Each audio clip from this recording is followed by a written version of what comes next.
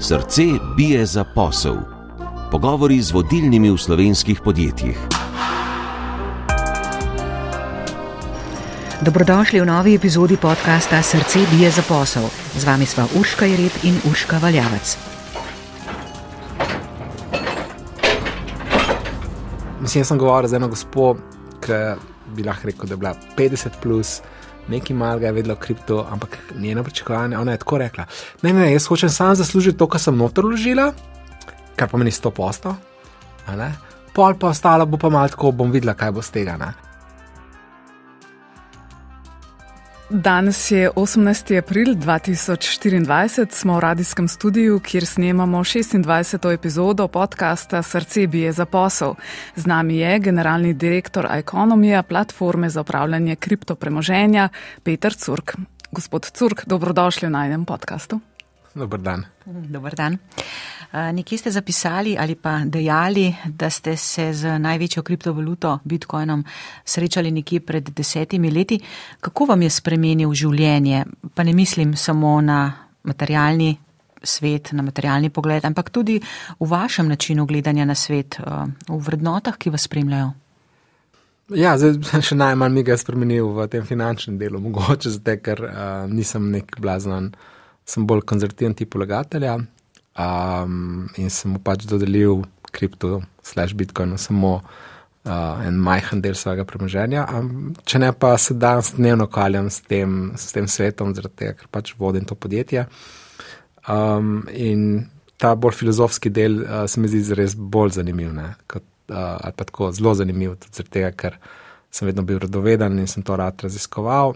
In še ta dogodek, ki se zgodi za januarja, ne, ker se pač v Ameriki so, je Bitcoin pač uh, postal del ETF sveta, ne? ker nekako tako se mu je s tem priznala neka legitimnost, ki do, do tedaj je bila bolj v alternativi, če temu tako rečem, neko neke subkulturi ali pa kakorkoli. No. Bili so neki verniki, ki so to verovali, ne? zdaj s tem, ko pa so to postalo del, ker je Bitcoin postal del uh, pač ETF kot čist reguliran produkt za finančne, za kakršne koli finančne investitorje, tudi za retail v Ameriki, ki je največji trg, je s tem pač preskočil eno mejo, ki je do tedaj ni imel ne? in eno legitimnost. Sodeč iz tega vašega odgovora, potem sklepam, da niste kakšen tipični eh, prototip uspešnega kriptomilionarja, eh, ki recimo polni splet z objavami v Dubaju ali pa na jahtah, pa v družbenih videh. Sploh ne. ne, sploh ne. ne. Družinski človek, eh, najbolj nevarna stvar, ki jo počnem, se verjetno moj motor pa verjetno smučanje. Glede na to, da sem že blizu 50 in pa pol, kakšno koleno lahko že kaj gre. Kaj je pogoj za uspeh v kripto svetu? Je to nadpoprečno tveganje ali je, lahko rečemo, včasih dovolj samo to, da si na pravem mestu ob pravem času, tako kot tudi sicer veliko krat v realnem biznisu? Mm, ma, bom mal uporabil del vprašanja in odgovoril. Tisti, ki so uspeli v kriptu, po mojem, niso veliko tvegali, zato ker so mogli zelo dobro vedeti, kaj počnejo. In v njihovih očeh tisto, kar so počeli, je bilo relativno, rekel celo netvegano. Ne? Ampak so, mog, so te osebe um, zelo veliko poznale, ne? kaj se dogaja, bile so notor v industriji od samega začetka, imeli so povezave, verjetno dostop do nekih informacij, ki v nekem reguliranem trgu, uh, kot, je, recimo, uh, kot so delnice, se ne smejo uporabljati. Tako da ne vem, če so zares tvegali. Ne? Zagotovo je bilo v preteklosti vem, ogromno enih uh, skemov, kako se reče temu, Golif. prevar, goljofi. Uh mhm, -huh. Mhm. In tukaj mi je žal za vse tiste naivne ljudi, ki so pač verjeli. Ampak mislim, da to ni samo značilnost skripta, to je značilnost, če dam samo anekdoto ne vem, od mojega Tomaga uh, v vrtu. Mislim, spoh ne ve, kaj je, če počnemo z njegovo oče, tam so se neki srečali, začel govoriti da je vložil nek denar v ne vem, neko dubajsko podjetje, ki bo delalo hip, hiperpovezavo med Moskvo in Dubajem, da so to delnice. In, in to so pač te del tega, da povprečen državljan, se mi zdi, da finančno ni pismen, ker ni izobraževanja na to temo, ni česar in pol, ali to kripto, ali to. Nekdo drug, z nek, nečem drugim, neko obljubo, ne vem, o boljšem življenju. Ja, ja, ja nigerijski princ. Delnice na Balkanu. Ja, pa catch the cash, uh, vse te stvari. Ne. In to je zdaj sam, kripto je sam ena izmed teh stvari no, v preteklosti. Ne. Se pa to po mojem ful spreminja, zato ker um, Mika, ne, tudi za Slovenijo, za Evropsko unijo stopa veljavo s 1.1.2025, prvi del že s 1.7.2024 in pač bojo kriptovalute oziroma kriptotokni, kot se jim ponovem reče, uradno digitalne, uh, digitalna sredstva postala polno regulirana. Z začetkom s prvim, uh, z julijem letošnjega leta postajajo regulirani stablecoini v Evropi. Uh, že z 19. marcem, recimo, so največje borze um, začele delistati določene stablecoine, ker ne pričakujejo, da ne bojo v skladu z regulacijo. Ne? in izdajatelji stablecoinov morajo postati regulirani, polno regulirani v Evropi že z julijem letošnjega leta, ne. to je čez tri mesece praktično. Vsi ostali pa z 1.1.2025, ne. regulirani bojo izdajatelji, vsi posredniki, vse borze, vsi finančni svetovalci, tako kot tudi upravljalci premoženja. Ne. Na nek način ekonomija, moja naloga je pred dvema letoma, ko sem začel na ekonomijo, da pač podjetje pripeljemo iz tega delno reguliranega statusa, ki ga imamo mi, ker smo že več kot dve leti uh, skladni z vso mednarodno regulativo o preprečevanju pranja denarja, pripeljen do polne, bom rekel, licence, tako v Združenem kraljestvu in tudi na nizozemskem, kjer smo prisotni. Zdaj smo začeli že kar ja, govoriti o poslovnem modelu, ja, ja. ampak kar nadaljujemo, mogoče pa potem še kakšno tako bolj lahkotno vprašanje. Uh, torej, Economy je v bistvu platforma ne, za upravljanje portfelja kriptovalut. Nam lahko mogoče predstavite ta model vašega poslovanja?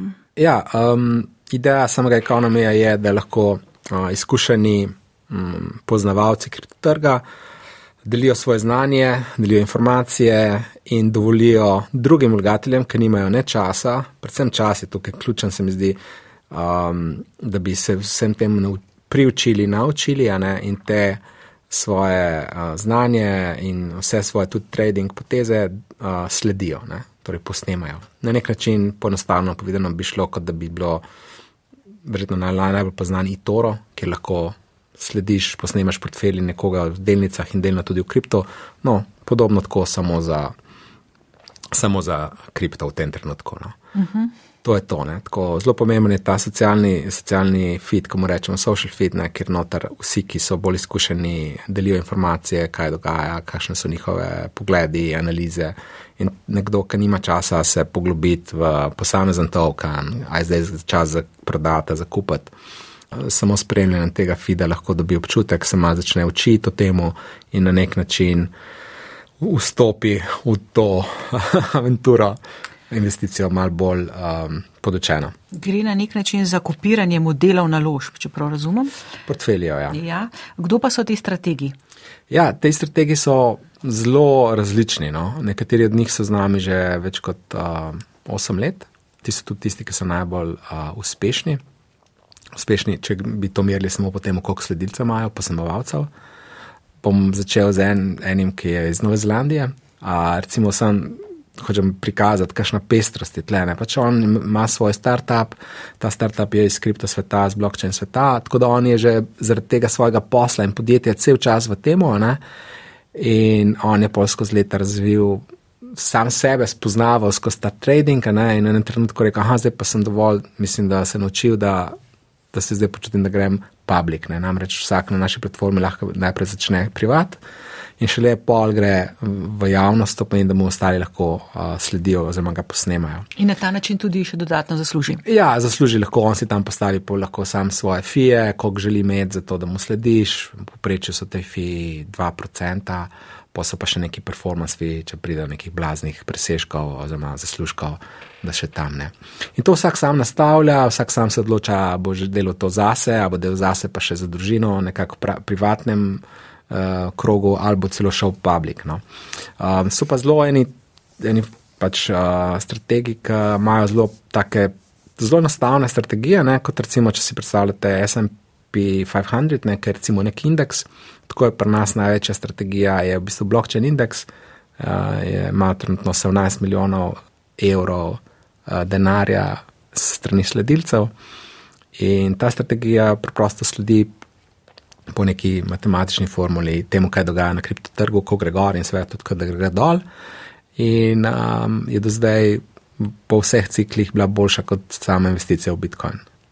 Torej, eh, če bi vas nekdo vprašal, ne, zakaj kupovati prek ekonomija eh, in, in ne kot posameznik na kriptoborzi, je potem odgovor se skriva v tem, kar ste dejali, v teh matematičnih formulah. Eh, Enostavno je, varneje je, zato ker ne rabiš ključe od denarnice, ne rabiš ključe od volitev, torej enostavno je, varneje in glede na to, da plačaš približno 2% v poprečju, je veliko krat se izkaže za veliko bolj donosno, kot če delaš sam.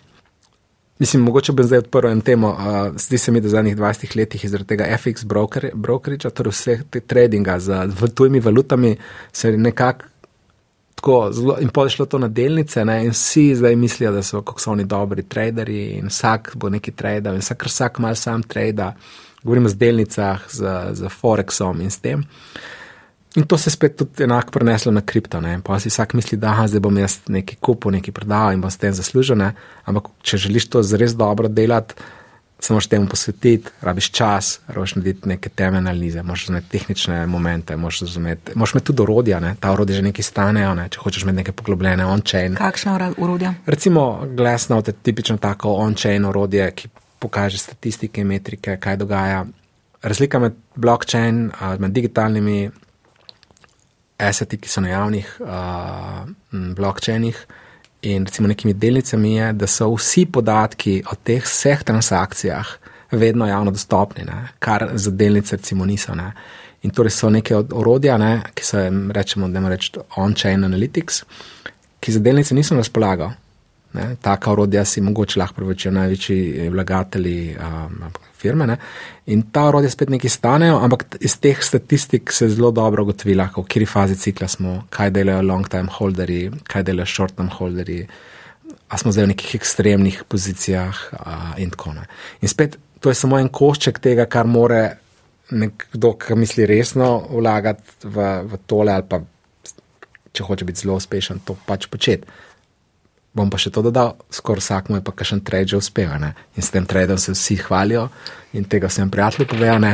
ampak jaz lahko potrdim in verjetno bi lahko tudi ostale platforme imeli podobne statistike, da, da večinoma so redki posamezniki, ki na dolgi rok to zelo dobro delajo, ali pa so to investitorji, ki so um, v zelo dobrem trenutku vstopili uh, v trg ali pa recimo so to ljudje, ki so v trgu že zdaj v tem trenutku 6-7 let, ker je pač so šle cene tako gor, da so itak vsi v zelenem. Ker treba je seveda dodati, da so naložbe v kriptovalute izjemno tvegane. Ne? Ja, so, zagotovo. Ne. Tako neke, um, neke analize so pokazale, da recimo ta klasičen portfelj 60-40 delnice obveznice, v takem portfelju je smiselno dodati mogoče 3-4% kripta, zato ker se potem a, tveganost in potencijalna donosnost celotnega portfelja še sorazmerno enako povečata. Ne? To pomeni relativno majhno tveganje, ki se tvega s 3-4%, ampak je pač donosnost teh 3-4% potencijalno toliko večja, da je to razmerje tveganja donosnost še smiselno, da se vlaga. Ne? Imate takšno razmerje tudi v vašem osebnem portfelju? Uh, ne. Kakšno pa je? um, Samo Bitcoin. Ne, ne, sploh ne. Um, Jaz sem pač prav, kar se selimo, ravno če smo prevzeli ključe. Tako da si predstavljate, da sem bolj tipičen slovenski, imam večino v tem trenutku v nepremičninah, imam pa malo več kot tiste 4%, ja, pol kripto. Ampak zagotovo jaz sem, nisem pristaš tega 60-40, zdaj, ker se mi zdi veliko boljše, um, tako, da je večina premoženja zelo varna, ne, pa pa en majhen delež zelo tvegan. Ne vem, tako pač jaz osebno na to gledam. Ne. Koliko krat na dan pa potem pogledate ta svoj portfelj? A zdržite, da ne bi. Ne, sploh ne tradam tako. Uh, sem, jaz sem vem, takrat na začetku, ko sem se spoznal s kriptom, sem tradal. Po mojem sem bil uh, povprečno slab trader. Nekaj sem se zaslužil za samega časa, kdaj sem šel noter, ampak ni, da sem imel neke blazno dobre trade. Tako da ne tradam, se tega tudi ekonomi je platforma bolj za investiranje kot tradanje in tudi platforma je že zdaj pripravljena na tokenizacijo ostalih, temu reče, ostalih premoženskih um, razredov, ne, tipa obveznice. Recimo v Angliji um, se, smo se pogovarjali z Arčaksom, ki so izdali tokenizirane mar, money market sklade, čist klasične sklade. Mislim, da v Sloveniji se temu reče skladi denar, denarnega, denarni skladi, ki vlagajo samo v valute. In oni so jih pač preprosto tokenizirali in te tokeni so na razpolago vlagateljem. Tokeni so izdani na blockchain tehnologiji in te, s temi tokeni se lahko pač trguje. In to je povsem likvidno. To je enako likvidno kot sami originalni skladi. Ne? Gre samo za to, da je tehnologija digitalna. digitalna in digitalizirani so te skladi. Ne? In enako se bo predvidoma zgodilo tudi z drugimi. Ne? Še eno vprašanje glede ekonomije. Uh, kakšni so bili lanski prihodki, kako je bilo z dobičkom, kakšna so pričakovanja za letos, glede na to, da ste dejali že, da kriptosvet uh, zdaj pa že kar nekaj časa zelo, zelo zelen. V zadnjem letu približno je šel Bitcoin, mislim, gor 150 postov CCA. Uh, naše poslovanje lani je bilo, uh, rekel, ena dobra nula. Tako da smo tudi tisto leto, ko se je nekako obrnil trend na vzgor, um, poslovali pač z nulo. Leto prej smo imeli izgubo, leta 2021 smo imeli uh, kar velik dobiček. Smo pač tudi mi še delno podvrženi tem ekstremnim ciklom. Ja. Dodal bi samo to, da mi še veliko investiramo. Mi, mi investiramo v razvoj platforme, investiramo v širitev. Zdaj smo pravkar decembra kupili podjetje na nizozemskem, ki je licencirano pri centralni banki nizozemske. Dodali smo zdaj nove ljudi v to podjetje, dodajamo nove ljudi v Angliji, dodajamo nove ljudi v Sloveniji z področja compliance, večinoma. Tako da mi smo še kar v nekem investicijskem modu ne? in cel čas tega bear marketa smo tudi tako bili. Um, nismo nikoli zmanjševali zaposlenih, ker pač um, pripravljamo podjetje na, na, na gorilano okolje za naslednje leto. No? Kakšni pa so v bistvu donosi, ki jih recimo dosegajo te vaše strategije in potem posledično tudi njihovi posnemovalci? Um, jaz bi rekel tako, da je ravno kar, ravno kar uvajamo neke dodatne, malo bolj zaostrene kriterije za tiste, ki se lahko ostanejo uh, javni, torej da se jih sploh da posnemati. Tako en izmed najbolj donosnih so recimo te, ki so preprosti indeksi, pole pa par takih posameznikov, ki imajo uh, zelo, recimo ta nizozemc, Ape Capital uh, je tak zanimiv. To je zelo, zelo velike korelacije z Bitcoinom, pa pa malo odvisno od cikla, pa koliko dobro delajo varovanje portfelja, kadar gre stvari dol. Tako da pa tudi odvisno od časovnega obdobja. No. Ampak recimo zadnjič, ko sem gledal, je bil ta blockchain indeks, ki je največja strategija, je bila približno za 800% boljši donos kot Bitcoin sam. Ne, do, do zdaj. Ne. Torej, zato, ker imamo tu še druga bolj tvegane kriptovalute in pač te kriptovalute, kadar se zgodi nek cikl v eni fazi, grejo gor in to je to. Ne. Je zelo, to je zelo različno. No. Zelo volatilno. Tudi. Svoj poslovni model ste dejali, ne držite uh, v Združenem kraljestvu, na nizozemskem, tudi v drugih državah Evropske unije. Ali tudi vaši uporabniki potem prihajajo večinoma iz teh trgov, so tudi slovenci vključeni? Ja, zgodovinsko je pač podjetje nastalo v Sloveniji in zaradi tega je pač um, kar nekaj slovenskih uporabnikov tudi na platformi. Um, veliko, druga največji trg drug, ja, je nizozemska, potem v tem trenutku tudi že Združeno kraljestvo. Uh, imamo pa uporabnike iz celega sveta, tudi neko nizozemska, Avstralija. So nekatere države, ki jih um, prepovedujemo, jih ne sprejemamo, stran, recimo iz Amerike, iz Kanade. In meni je, ja, meni je vedno zelo smešno, ker se Amerika, Kanada znajdeta v družbi Severne Koreje, Rusije, Irana, ker je to za nas uh, enako tvegano. Uh, en, pri enih, eni od teh držav zaradi pač nekih sankcij ali pa uh, preprečevanja pranja denarja, druga država pa zato, ker obstajajo tveganja, če bi mi take uporabnike sprejemali, namreč um, ameriški zakoni so napisani na način, da lahko državljan Amerike kjerkoli po svetu nekoga toži, če mu je prodal nekaj, kar ne. Ja. Ne glede na to, da mi nas v Ameriki načeloma ni. Tako da raje za to tveganje zmanjšamo, preprosto rečemo američanom ne hvala. Kitajski državljani pa še ne smejo. Ne vem, za Kitajce mislim, pomoč, da so tudi na kakšni prohibitet listi. Mm. Kakšno pa je po vaši oceni razmerje med moškimi in ženskimi vlagatelji? Mm, kar korist moških, to je po mojem tipično ne samo za mm, na, nisem kripto, ampak nasplošno. No. Sej vidim posod, da je več moških ne vem, verjetno je to še neka zgodovinski razvoj, ni niti povezan s kriptom. Kaj pa mladi, starejši? Na naši platformi je zanimivo, da je ta poprečna starost um, teh, ki največ vlagajo, med 35 in 55. Torej niso to zelo mladi, ne najstniki, pa bi se lahko predstavljal TikTok ali pa neki. Ne. Oziroma tudi oni so, ampak pač razpolagajo z manjšim premoženjem. Ne. Z tega vidika smo mi zelo, zelo klasična finančna industrija. Ne. Pač kdo ima kdo ima nekaj premoženja, ta ga sploh lahko vlaga, in ljudje do 35. se večinoma sploh še ne morejo ustvariti nekih rezervnega premoženja. Ne. Ti mlajši vlagatelji vlagajo manjše zneske, medtem ko starejši vlagatelji pač vlagajo večje zneske poprečju. Ja, tudi bolj mogoče previdni so, so že videli, izgubili kaj na delnicah, izgubili skladom, mogoče v Sloveniji z kakšno ban, bančno delnico ali pa podobno. In so tudi bolj izkušeni. Ne?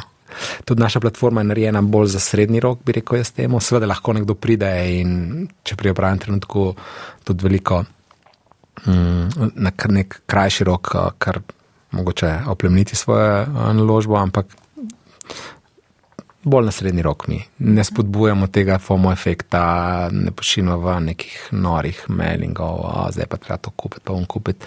Ker ena od nalog, ki jih mi kot platforma tudi delamo, je to, da skrbimo, da je na platformi tem trenutku približno 150 uh, digitalnih tokenov in en od ključnih nalas, naših nalog kot marketplace, torej kot tržnica, ne, kjer se srečujejo neki bolj izkušeni vlagatelji in neki začetniki, je ravno to, da ne ponudimo nikomor tokena, ki bi lahko postal kar hitro neprodajljiv. Ne. In zaradi tega imamo nek proces listinga, ne, torej da se token sploh na platformi pojavi, ne, more biti prisoten na več kot ne, treh borzah, mora imeti toliko dnevnega volumna, zaradi tega, ker želimo že tako, reko, v izhodišču preprečiti to, da bi vlagatelji ostali z nekim digitalnim tokenom, ki se ga ne da kjer prodati. Ne.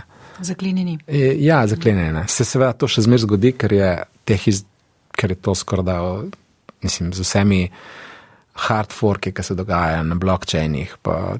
Tukaj zadaj je ogromno enega, tako kar tehnično tudi malo zapletenih stvari, ne, ki jih mogoče vlagatelji sploh ne vidijo, ampak ja, to je ena izmed ključnih stvari, ki jih tudi mi delamo, ne, da pač ponudimo samo tokene, ki imajo neko likvidnost in jo bojo naše oceni tudi imeli, to skon, konstantno spremljamo ne, in, um, in pol tudi delistamo določene tokene, ne, kar mi proaktivno uh, pač, če vidimo, da ne kaže dobro, da listamo, prodamo in to pretvorimo v neko nazaj denar za vlagatelje. Iz digitalnega sveta za hipec stopimo še v realni svet. Ta najn podcast Srce bije za posel običajno snimamo na terenu, v pisarni ali pa v kakšni sejni sobi podjetja. Danes smo na radiju. Kje so vaše pisarne oziroma kje so pisarne vašega podjetja? Sploh imate pisarne, jih sploh potrebujete? ja, jih potrebujemo. Uh, mi imamo pisarne v Londonu, um, Amsterdamu, oziroma ravno kar jih selimo v Amsterdam. To sta te na, dve naši družbi, ki sta licencirani na nizozemskem in na Združenem kraljestvu. Uh, v Ljubljani imamo pa samo razvoj. No. Razvoj te platforme, ker ta platforma je plot slovenskega znanja, slovenskega, boniku, inženirskega znanja in tudi poslovnega. Um, tako da imamo tle le v Ljubljani, v centru. A nam lahko razkrijete mogoče, kakšne so vaše plače, plače zaposlenih? Mm, bi rekel, kar poprečne. Um, Za finančni svet? Ba, ne, zdaj ima pomislim, največje plače pri nas imajo verjetno razvijalci, senior razvijalci, kar hoče reči, da te plače niso blazno ven iz nekega slovenskega konteksta. Jaz lahko to primerjam z slovenskimi korporacijami, katerih sem delal, z drugimi družbami. Jaz bi rekel, da je kar primerljivo s kompetencami zaposlenega. Ne. Imamo razvijalce, ki so 20 let, senior razvijalci, uh, full stack, to pomeni, da vladajo več tehnologij in pač tak človek najde kadarkoli zaposlitev, verjetno v Sloveniji, po primerljivih pogojih, ki jih da nudimo mi. Je pa v tujini to, to je veliko bolj zaznavamo v tujini, ne, v smislu, da kripto je pa kar takoj 10-15% draže. Ne um, govorimo o storitvah, ne nujno samo o plačah. Ne. Ampak ja, je ta um, tudi medijski, ne zanimivo, kaj ste mediji. Uh, aha, ja, pridemo do vem, v Angliji, kakšna oglaševalsko ali pa nekega influencerja, pa takoj, ker prebije neke cene, ki so tako full draže, ker sploh nerealne, no bom rekel. Nerealne ne. Ja. ja. Družbe. Ker se nekako Ne, ni, niso predstavljajo, no? pričakovanja. Bi rekel, da je v preteklih bulranih so te cene vzdržale. Ne? Vsi so se, vse globalni, te kriptopleri, podjetja so se pač borila za pridobiti tržni delež in so bila pripravljena to plačati, in pa so se na take cene svojih storitev privadili in zdaj mislijo, da jih bojo. To je bilo smešno videti iz leta, ko smo šli iz leta 2022, ko smo šli ven iz zadnjega bullrana, ne, recimo dam primer, je en influencer ali pa ja, je zahteval recimo 25 tisoč evrov za nekaj objav, pa ne vem kaj. Ne. No, čez šest mesecev, osem mesecev je ta isti influencer prišel do nas, pa ponuja to isto stvar za 3000 evrov. Ne. Tako take velike razlike, tako gre to gor, kadar je euforija bila na trgu in tako gre to pol dol, kadar pač ni, ne. ko se trg čisti. Ne. In trg se je zadnjih, tudi ponudnikov, ne, se je ogromno prečistil. Ne. Um, ta FTX je šel van, um, se je prečistila industrija precej. Mogoče za trenutek vseeno na plače Mhm. še nazaj. Mogo, a nam lahko vsaj kakšne okvirje recimo podate in mogoče poveste tudi, Imamo zelo različne, lahko. Recimo, ne vem, pa dajmo pogledati ljudje, ki so. Dajte mi primer, bom proval. Ker, je, ker imamo, hočem reči, mi imamo v razumem, ne, supportu, no, saj, imamo pa dajte povedati recimo za razvoj, a ne za razvoj Ja. ja. platforme. Ugibam, da so to ljudje, ki so najbolje plačani. a ne. Ja, res ima najviše plače ja, pri nas. Um, ne vem, recimo od do, bi rekel, od ne vem, 4000 evrov, poprečni ljudje nekih 6000 evrov, govorim o bruto zneskih. Bruto. Ja, pa pol še kaj več, tisti, ki so senior. Ampak potem so nagrajeni na drugačen način, imajo še variabilni delež. Niti ne. Poste pa kar racionalni. Ja, mislim, mi imamo, kar nam je nasplošno zelo, jaz bi rekel, temu lin podjetje, tako nimamo nekih, bi rekel, ekscesov. Poskušamo razviti nek poslovni model, kjer bo dolgoročno zdržljiv, ne, zdržan. Ne. Um, in pač stroški so ključni pri tem. Ne. Tako je pa dejstvo, da so nekateri teh fantov že z nami od samega začetka, ne. so tudi delničari, ne, zaradi tega imajo tudi nek interes, um, da podjetje dolgoročno ohranja um, konkurenčnost, da raste. Tako da mislim, da ni, ni, ni plača glavni, glavni Dejavnik. motivator. Ja. Koliko To vas? pa vidimo v tujini, no? to hočem reči, ker zdaj smo um, zaposlovali ekipo na nizozemskem.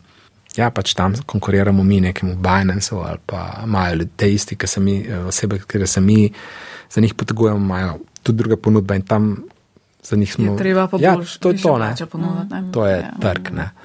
V Angliji, ker je pa toliko ljudi, ker je pa trg tako, ko, toliko rekel, tudi, um, ljudi, no je, pa mladih, um, se dobi zelo um, dobre ljudi, mlade, ambiciozne, z velik znanja, um, po nekaj višjih eh, plačah kot v Sloveniji. Ne. Ni tako, bi rekel, da je zelo, zelo dražje ne, za juniorje. Ne. Pri seniorjih, pri tistih ljudeh, ki prodajajo svoje znanje in tudi svoje socialno omrežje. Ne. Namreč, ko greš tujino, moš postati lokalc, ne iz Londona v Amsterdam, ja, noben ga ne poznaš. Torej, rab, nekako vzameš človeka, vzameš tudi njegovo, kdo je on, kakšno socialno mrežo ima. Tako, no. In to se pač pozna, to, je, to se dejansko tam del paketa, ki ga prodajajo, ko jih zaposliš. No. Druga anekdota, ki bi pa mogoče zanimiva za Slovenijo, je, kdaj se splačujejo plače. Ne? Recimo v Angliji plačamo plače 10. v mesecu za pretekli mesec, na nizozemskem plačamo plače 25. v mesecu za tekoči mesec. Ker je tam logika, do 25. bo itak podjetje že ve, kakšno stroško bo ta mesec imelo. Plačajo plače 25. v mesecu za tekoči mesec. Ne? V Sloveniji plačamo 15. za pretekli mesec. Ne? In ko, ko sem to slišal z enim zvezdskim, sem si mislil, na ustavno sodišče bi bilo zaid, pa da slovenci. Ne, res. Ker to pomeni, da slovenski delavci za, pet, za 15 dni financirajo slovensko gospodarstvo In državo, in državo, ja, ker je tako večji delodajalec. Ne. javni sektor. To je za narediti, no, mm. po mojem. Ker zakaj? Mislim, to je, to je samo za narediti. No. To, ki sploh ni, to sem pripričan, da če se zbere par, pravnikov, pa bi bo to spravili skozi ustavno sodišče ali pa kjerkoli je treba, no, je, ali pa ne vem, ne, kaj, kaj imamo mi, mi imamo še ekonomsko-socialni svet. Ne, se, ne, ne zato se delo. delo, delo. deluje ta ekonomsko-socialni svet, nekaj je zamrzno zdaj v tej vladi. V ozadju. Ful mi je tudi zanimiv tip pogodb. Torej, v Sloveniji imamo, ne vem, poprečju tri strani, recimo, dolga pogodba, ne, pol imaš UK, imajo tudi že daljše pogodbe, ne. Na nizozemskem je pa the best, narejen, je pa super narejen. Na nizozemskem imamo mi pravilnik o. Najlažje primerjati to z nekimi splošnimi pogoji, ne, ki jih srečujemo vsi mi, kadar se nekam. Imáš pač pravilnik o, in pol imaš A4 format na enem listu, na eni strani enega lista, kjer samo so specifike tvoje pogodbe kako je plača, kako je to, kako je ono, kako je tretje, kakšno imaš, ne vem, odpovedni rok, in ti podpišeš samo en list, in vse ostalo je urejeno z nekimi splošnimi pogoji za poslitve pri delodajalcu. Mm. Jaz tako nisem mogel verjeti in tako ful praktično. Najbrž veliko zaupanje ne, med. Uh... Ja, predvsem tudi sodna praksa, zelo jasna, zelo hiter se tem. Manj birokracije. Ja, tako tam, ne vem, na nizozemskem uh, nisem navajen, ker smo se mi pogajali, zdaj sem se pogajal za dvomesečni odpovedni rok, ne, že ne čak dvomesečni. Tam je tako, ne, če daš odpoved ta mesec, velja, sem, s tabo, sem s tabo kot delodajalcem še do konca tega meseca, pa še cel naslednji mesec. Ne. Kar pomeni, da je lahko 60-30 dni in to je to, in to vsi spremejo. In, kar drugače, drugače kot pri nas. Ja, v Angliji pa je bolj šest mesecev, v smislu. V Angliji pa se te premiki med delodajalci ful planirajo. Ne? Aha, ja, pa se, se zmeniš, pa je, tam so ti pripravljeni čakati 3-4 mesece. Ne? Tega v Sloveniji tudi ni bilo še nekaj časa nazaj. Ne? Nisi bil pripravljen čakati nekoga 4 mesece, da bo šel k tebi. Ne? Ja, ful razlikno. No, pa če se vrnemo vseeno v kriptosvet, ne, povejte nam, kar nekaj smo se pogovarjali o tej varnosti, o tej volatilnosti. Kako varne so naložbe v kriptovalutah in katere so tiste največje tveganja? Ja, to je kar zahtevno vprašanje. Jaz bi kar tako nasplošno rekel, no, se vrnil k tistem, ki sem rekel. To so verjetno ene od najbolj rizičnih uh, razredov ne, naložbenih. Tako da je treba mu temu ustrezno dati pravo mesto v uh, svojem osebnem portfelju. Obstaja pa tudi znotraj kripta ogromne razlike. Ne. Eno je Bitcoin, ki je mogoče s tem, kar se je zgodilo zdaj januarja, s temi ETF-i, že na meji tega, da je svetovno priznana surovina, komoditi, temu rečejo. Ne. Nima izdajatelja, noben ga ne moreš tožiti, če karkoli narobe. Ne, in zaradi tega obstaja ogromna razlika med Bitcoinom in vsem ostalim. Recimo Ethereum ima zdaj neke postopke za z ameriškim regulatorjem, Polygon, mislim, ravno ta teden ne, tudi.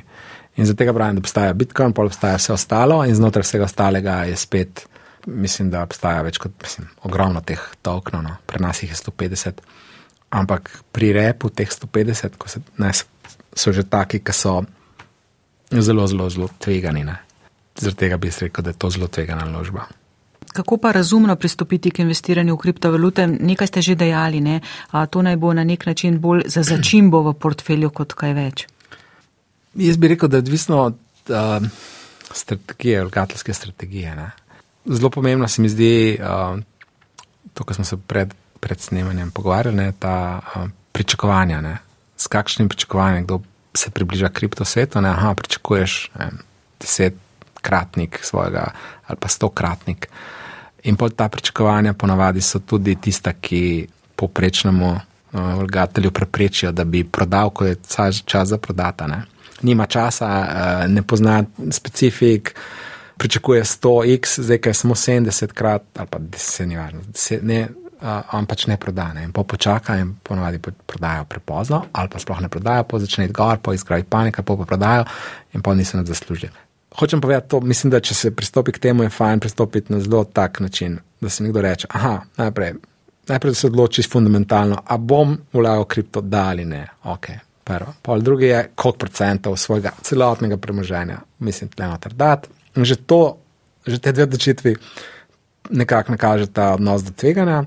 Pol, kar se tede za sabo, je pa to, v kaj, ne? ali boš nekak Bitcoin, ali boš še kaj bolj tveganega, In naslednja stvar, preden je še kaj en evro nakazal, kamorkoli, ne se še odloči, kakšen bo take profit strategija. To pomeni in kakšna bo buy strategija. To pomeni, ali se bo zdaj odločil, da bo v desetih korakih nekaj kupil uh, in bo vsak mesec nekaj dal v to, in pa bo poprečna nakupna cena, recimo neko poprečje desetih ne, tednov, mesecev, karkoli se odloči.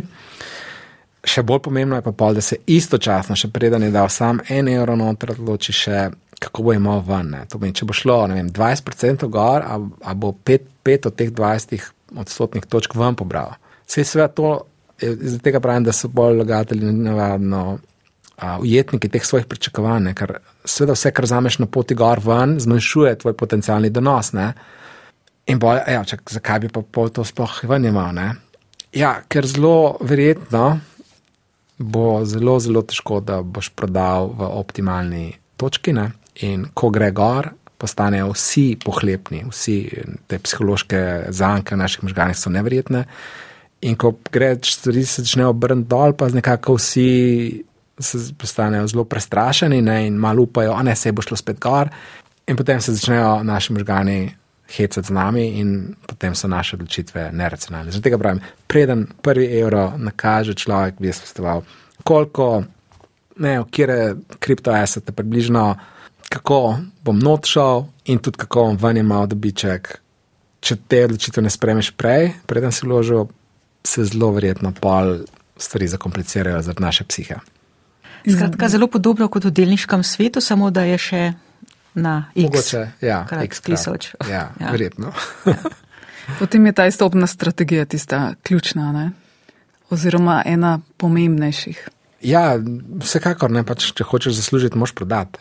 Moš nekaj prodati. Razen če se odločiš, da pač, lahko zdaj gre za jadrmo to bolj filozofske strani tega. Ne, ali, ali mogoče, če bo, ne, kaj se dogaja z inflacijo, kaj se dogaja z zadrževanjem po svetu, ali bo zdaj ta res uh, neka ali bo zdaj Bitcoin res prevzel neko vlogo tega naddržavnega, nikogaršnega, ne, digitalnega zlata. Ampak to je vse spet spekulacija, ne, to nihče ne ve res. Ne. Kako vi vidite to?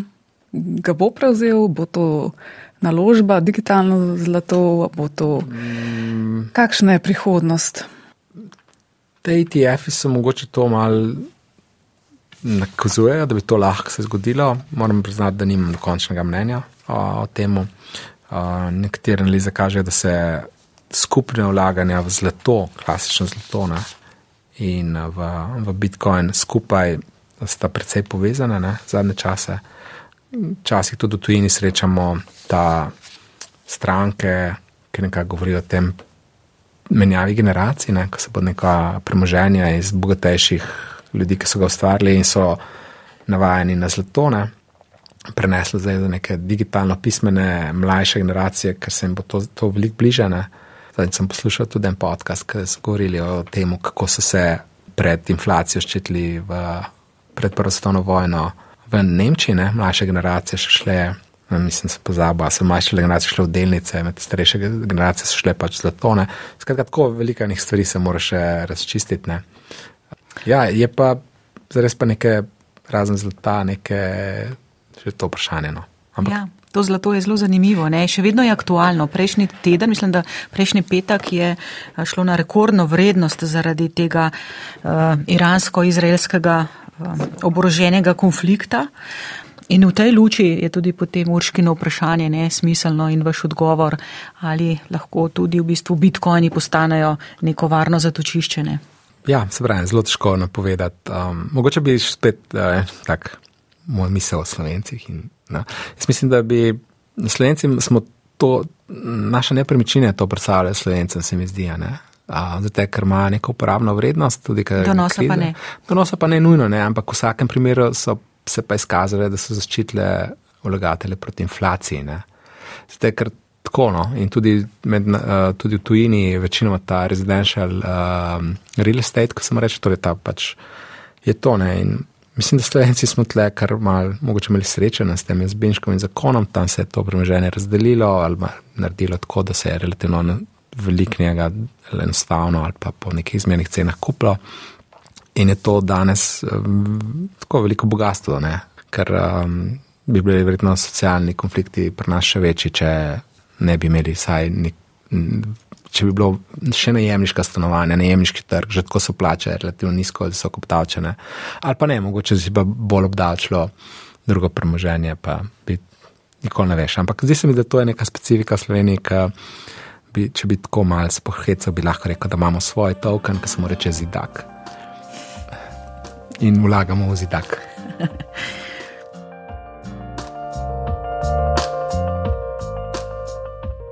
Se pogovorimo zdaj še malce o aktualnem dogajanju v kriptosvetu. Sicer to ni podcast, kjer delimo finančne svete, pa vseeno, no, nekako ste že nakazali, da se pravila igre uh, vseeno vzpostavljajo. V tem trenutku smo. Um, V uh, bikovskem trendu, ko se o kriptovalutah res veliko govori, in danes je 18. april, in v tem času bo uh, ta prepolovitev bitcoina. Um, kaj to pomeni in kako bi to lahko recimo tudi vplivalo na ceno bitcoina? Mm, ja, ponovadi, zdaj, če bi iz preteklosti gledali, se je bikovski trend nekako uh, še stopneval po prepolovitvi. Ne? To pomeni, da je cirka vem, 18 mesecih po prepolovitvi šele se je skupaj začelo. Zdaj, zdaj, zadnje leto se je pa to začelo že veliko prej, ne? se je začelo sredi lanskega leta, oziroma že marca lani mogoče lani pospeš, pospešilo sred poletja zaradi teh pričakovanih ETF-ov, ki so se zgodili januarja. Tako da, če bi samo gledali iz preteklosti, bi rekli, da je cel bikovski trend še pred nami. Ne? Ampak ravno te on-chain statistike, ki sem jih prej omenil, kažejo, da so že te ponudbo Bitcoina v veliki meri sestavljajo ne te, ki rodarijo.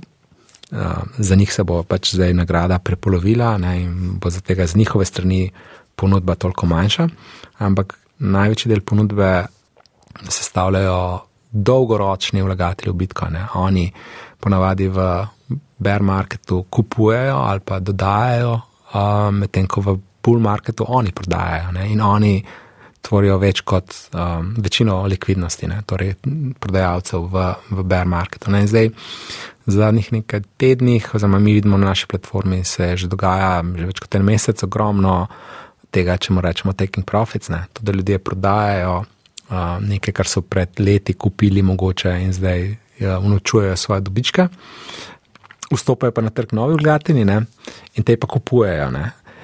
In ta dinamika med temi dolgoročnimi holderji in tisti, ki imajo ogromno bitka na že na zalogi in temi, ki bi radi zdaj vstopili na trg, to je tista večji del te ponudbe in popraševanja, ki vpliva na ceno in to bolj vpliva na ceno, po mojem, kot sami um, ta prepolovitev in rodarjenje. Ne. Ja, to je aktualno. Zdaj pa, če pogledamo še malce naprej, uh, prihodnost bitcoina in kriptovalut nasploh. Kolikšna je verjetnost po vašem mnenju, da bomo nekoč vsi plačevali izključno s kriptovalutami oziroma z digitalnimi valutami? Vemo, centralne banke po svetu eh, se intenzivno, tudi Evropska centralna banka se zdaj intenzivno pripravljajo na to, da vključijo poleg teh svojih fiat valut še digitalne valute, eh, kitajski huan, ne na zadnje evropski evro. Pa tudi imamo že prav države, naprimer Salvador je prva država, ki je začela Bitcoin uporabljati kot zakonito plačilno sredstvo. Skratka, eh, kako vi vidite te kriptovalute kot uh, način plačevanja, ki bo dostopen povsod. Vemo, za zdaj je še uh, marsikaj omejen. Ja, mogoče bi zdaj šli stran malo teh, tega imena kriptovalute, zato, ker se mi zdi tudi neposrečeno. Ne. Um, bi širil debato bolj na to, da tisto, kar sem prej omenil, recimo, da se um, klasični finančni inštrumenti v smislu ali pa neke se tokenizirajo. To pomeni, da se blockchain tehnologija uporablja, da se, um, da se ustvarja tokne, ki, ima, ki so podprti z nekim premoženjem. A je zdaj to premoženje ameriški dolar, a je to zdaj nek. To imate recimo Tether v mislih. A. Recimo Tether je tak, stablecoini so itak, ker niso stable, ampak uh, da moramo reči, uh, te digitalni dolari, če jim tako rečemo, so ena največjih inovacij. Ne? Ampak oni se spet pojavljajo, imajo specifičen trg in namen, kdaj so nastali, zakaj so nastali, kako se danes uporabljajo. Ampak hočem samo to reči, ne? da recimo, če si predstavljamo, da bojo se recimo neki nepremičninski skladi tokenizirani, to pač pomeni, da se bo trgovanje, se finančna industrija bo prišla na novo tehnologijo. Ne, to se dogaja v tujini. To je en trend, kjer se ta tehnologija blockchain predvsem uporablja v tem trenutku za veleprodajne rešitve, na, za medinstitucionalna trgovanja, Societe Generali, recimo svoj stablecoin, PayPal je naredil svoj stablecoin. To so neki inštrumenti, ki so polno regulirani um, in pod nadzorom, uh, uporabljajo blockchain tehnologijo, ker je pač smiselna. Ne? To je en, en vidik tega.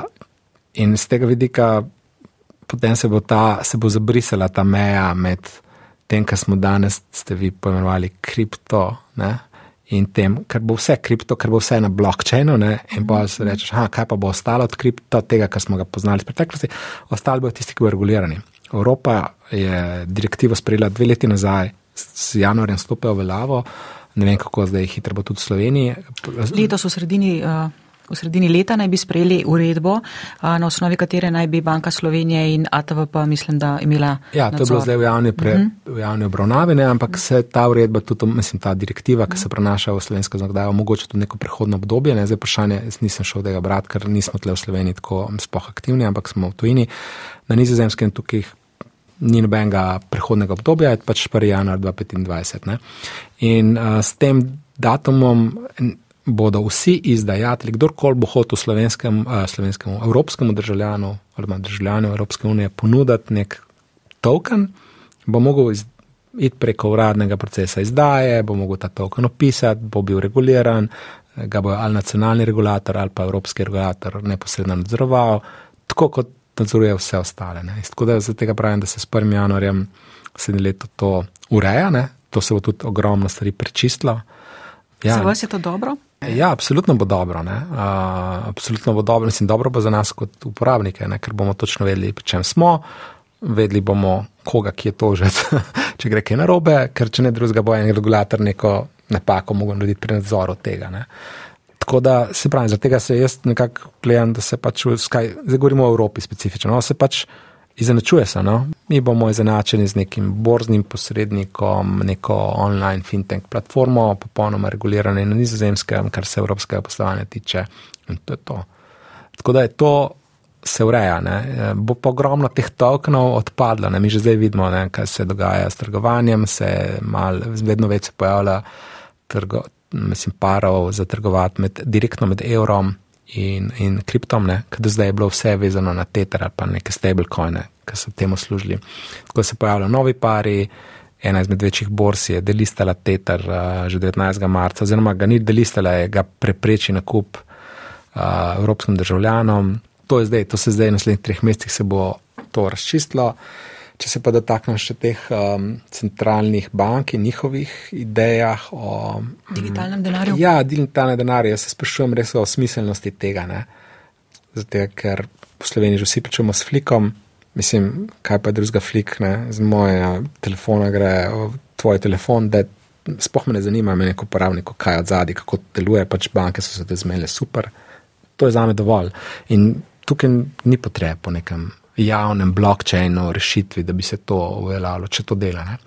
Zdaj, centralne banke, če jaz razumem te um, njihove ideje, to je pa tudi malo vprašljivo, ima neko uporabniško vrednost, če pride do tega, da neka ideja bila, da bi bilo omejeno, koliko bi lahko tega CBDC. Ja, ne.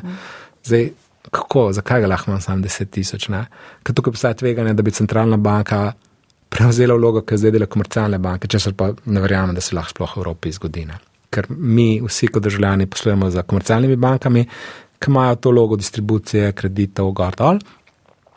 In če bi vse skupaj te stvari prišle na, na, na centralno banko, pol, vprašanje, kaj bi se zgodilo z, bančni, bančnim sistemom v Evropi, kar pomeni, da se ne bo nič v to smer resnega naredilo.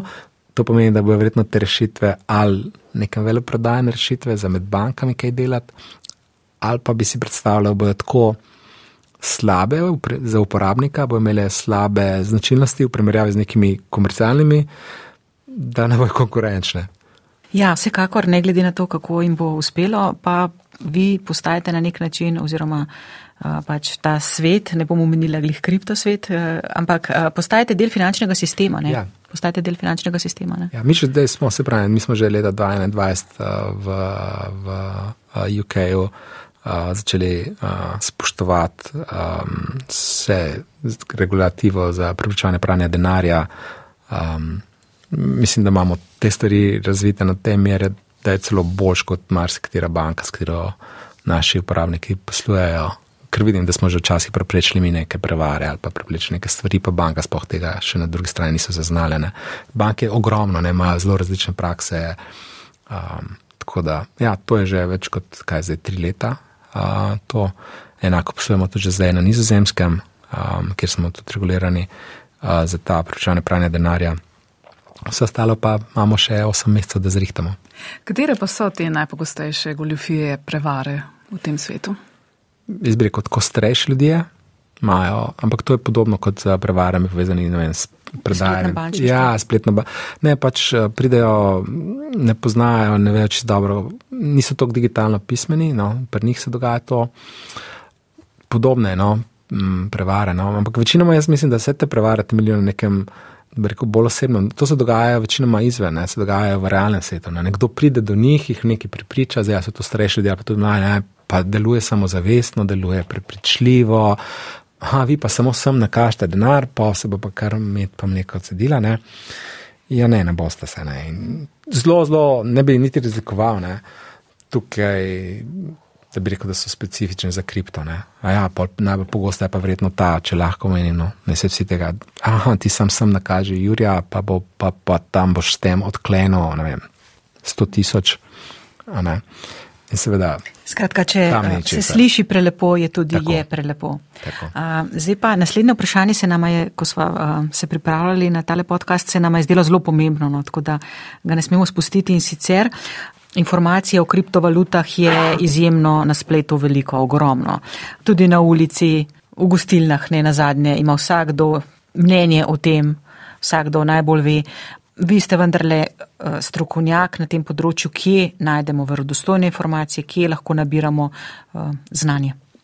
Jaz bi rekel, da bi uh, napotil uporabnike stran od YouTuba in ostalih socialnih medijev um, naj se obrnejo mogoče na te regulirane, najbolj regulirane borze ali pa platforme kot tudi Economy.